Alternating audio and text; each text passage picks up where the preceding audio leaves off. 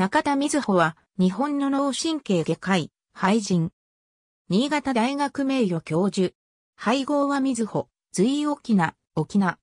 島根県津和野町生まれ。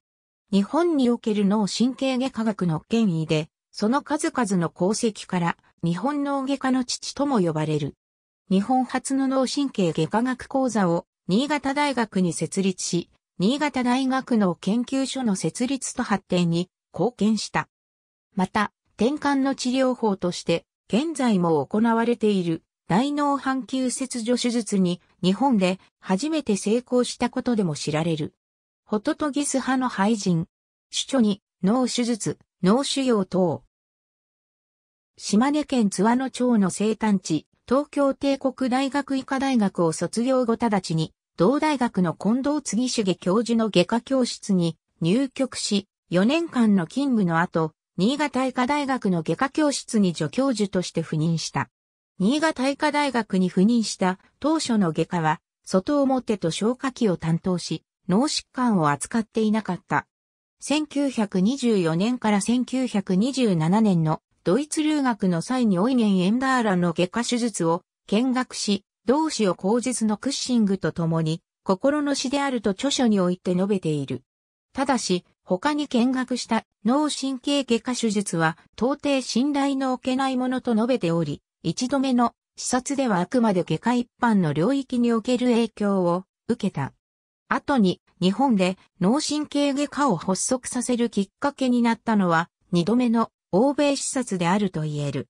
1936年に米国イェール大学で脳神経外科医のハーベイ・ウィリアムス・クッシングやウォルター・ダンディの手術を見学したことにより、クッシング氏の緻密な手術態度に感銘を受け、その手術法に共感を覚えた。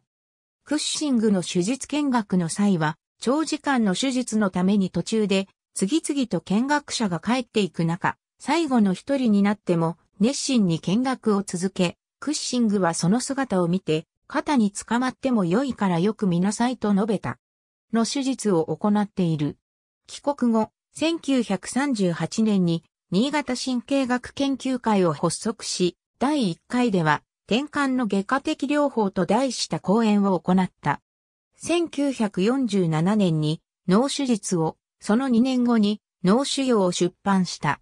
他、1948年に第1回日本脳外科研究会が新潟医科大学で開催された際、前頭葉切除術ないし前頭葉白質切離術の効果の限界についてという題で講演を行っている。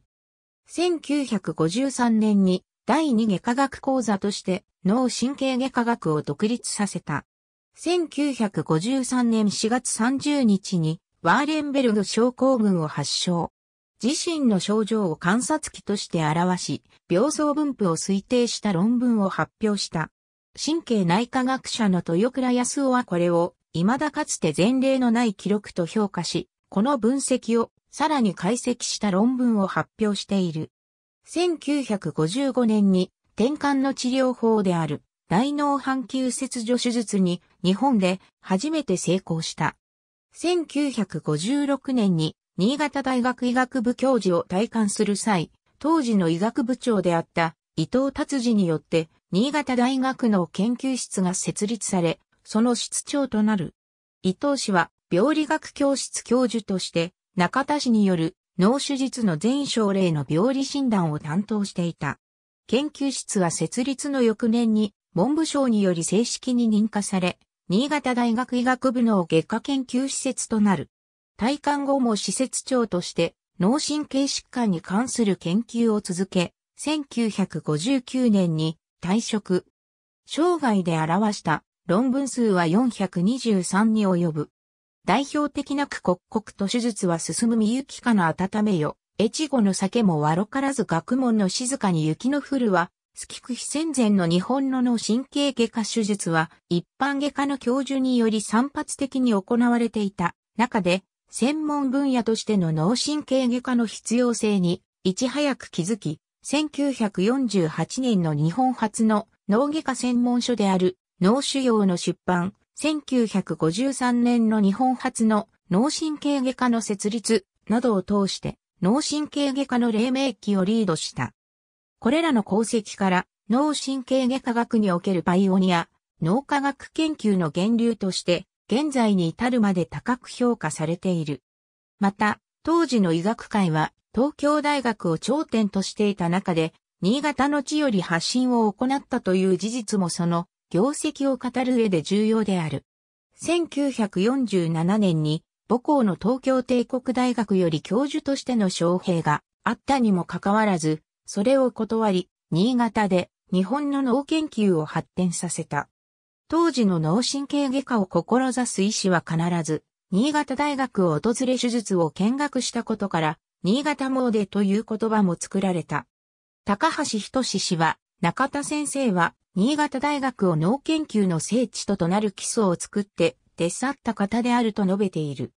1967年に日本脳神経外科学会の第1回認定審査会が行われた際、別格として認定証が贈呈された。また、1994年11月9日に出身地の津和野町に日本脳外科の父、中田瑞穂先生生誕の地の石踏みが建立された。現在でも新潟大学では現在優れた若手研究者に対して中田氏の名を冠した中田瑞穂若手研究奨励賞を授与している。1938年に中田が前頭葉切除術を開始したということから、しばしばロボトミーの推進者であったと捉えられる。確かに中田が前頭葉切除術を行ったことは事実であるが、1949年に出版された著書脳手術の精神病に対する脳手術には、どの程度まで精神病の治療として発展し得るものか、なお疑問であると述べており、その適用は絶務ではないかもしれないが、具体的には、精神病の不治、難治と思われる不幸な例、家族や社会に不安を完全しむる状態のものを、内科的にどうともしがたいような場合に適用となると思うというように、あくまで他の治療法で効果が得られなかった場合の場合の最後の手段であるとしている。このことから前頭葉切除術の可能性自体は認めているが、その遂行には慎重な態度をとっていたことが伺える。外科根弱の表紙、脳手術の表紙、脳腫瘍の表紙中田氏の日記や手術図譜は現在新潟大学の研究所の脳、神経外科教室に保存されている。ありがとうございます。